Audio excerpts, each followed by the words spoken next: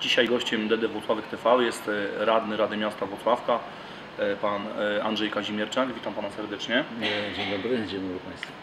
Temat naszej rozmowy no, nie będzie niestety najłatwiejszy, nie będzie też najprzyjemniejszy, panie radny, ponieważ temat to sytuacja gospodarcza, aktualna sytuacja w naszym mieście. Otóż dość niepokojące głosy nas ostatnio dochodzą, zamykające się czy zwijające, mówiąc kolokwialnie, swoje interesy firmy. Przez to coraz mniej e, miejsc pracy i ten rynek pracy staje się ubogi. I pytanie do Pana jako radnego e, Rady Miasta jest takie, e, co z tą sytuacją można zrobić? Przede wszystkim co z tą sytuacją może i próbuje robić, próbują robić władze miasta? Z przykrością muszę stwierdzić, że obserwując działania w mieście, wydaje mi się, że e, nasza gmina, nasze, nasze miasto nie sprzyja przedsiębiorczości, nie sprzyja takim lokalnym inicjatywom, nie sprzyja takich, takim działaniom, gdzie mogliby e, i młodzi ludzie zostawać, nie wyjeżdżać, szukać swojej szansy. No, e, to jest smutne, ale to wiąże się również z taką szerszą strategią jak zarządzanie gminą.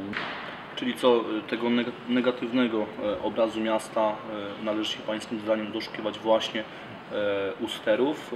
Ale oczywiście Władze tak. są nieodpowiednie? Oczywiście tak, proszę zauważyć, jednym z takich czynników rozwoju również miasta moim zdaniem jest komunikacja z mieszkańcami, bo to gmina ma właściwie dwa takie poziomy. Jeden to jest poziom, gdzie zarządza się na podstawie ustaw i to są zadania własne gminy, które są przypisane ustawowo i drugi poziom, gdzie gminą się zarządza jak lokalnym, e, lokalnym rynkiem, E, W takim razie mm, ta nie najlepsza sytuacja. e, Jest potencjał na pewno w naszym mieście, Ale potencjał ludzki, tak. miasto, miasto Oczywiście ponad 100 tak. Co do młodych ludzi, młodzi ludzie e, niespecjalnie mają jakieś perspektywy. Jak Pan myśli, co nasze miasto ma do zaoferowania młodym ludziom, a co powinno mieć? No to jest właśnie to, y, to pytanie, bardzo dobre. Do, moim zdaniem y, nie- niewiele. Moim zdaniem niewiele ma do zaoferowania. Y, Natomiast jest możliwość tej zmiany. Jest możliwość zmiany i, i, i wydaje mi się, że, y, że odpowiednio zarządzane miasto y, przez odpowiednich ludzi na pewno takie, takie, takie czynniki. My zresztą w mieście nie mamy, ja przynajmniej nie słyszałem o czymś takim jak st- strategia czy wizja jakaś rozwoju miasta, gdzie skupiamy się na, na takich sprawach, które są niezależnie od tego, kto jest u steru władzy, Czy w takim razie Pańskim zdaniem e, receptą na uzdrowienie sytuacji są po prostu zmiany na szczeblach władzy? Tak. Tak, tak. Ja e, mówię to niejako niepersonalnie, tylko że no, e, na, na pewnym etapie no, no nie da się przeskoczyć pewnej bariery.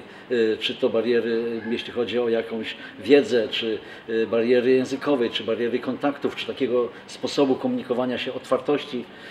No, I tych, tych barier niestety nie da się przekroczyć. Ja nie mówię tutaj personalnie. No, najlepszym przykładem takiej niekompetencji jest u nas sprawa przebudowy naszego stadionu lekkoatletycznego. Jedna władza za prawie 6 milionów stawia słupy oświetleniowe, druga władza te słupy likwiduje i sprzedaje za grosze. Czyli podsumowując, e, zmierzamy do tego, czy też Pan zmierza do tego, że, że być może będzie lepiej, jeżeli, jeżeli zmieniłaby się władza, ale niech Pan nas, nas, nam powie, nas zapewni, e, jaka jest alternatywa, jaką mamy gwarancję, że jeżeli ta władza się zmieni, będzie lepiej. A nie mamy żadnej gwarancji.